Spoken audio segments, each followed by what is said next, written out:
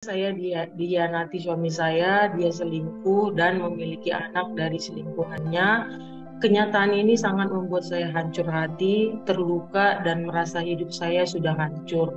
Saya selalu mengutuki suami, bahkan anak saya juga dari uh, semua pengajar yang ada di PMP. Saya sangat diberikan ketenangan.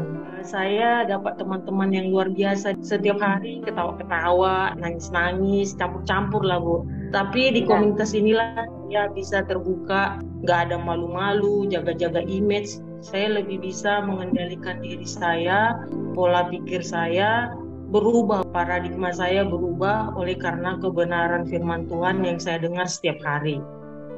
Perubahan sikap yang uh, saya rasakan dari istri saya, dia semakin sabar, lebih menghormati, mau melayani. Ini sederhana sih menurut saya Uh, tapi sebagai suami ini penting dan sangat berharga. Uh, diambilin minum, disiapin makan, pakaian saya juga disiapin. Dan saya melihat dia melakukan ini dengan sukacita.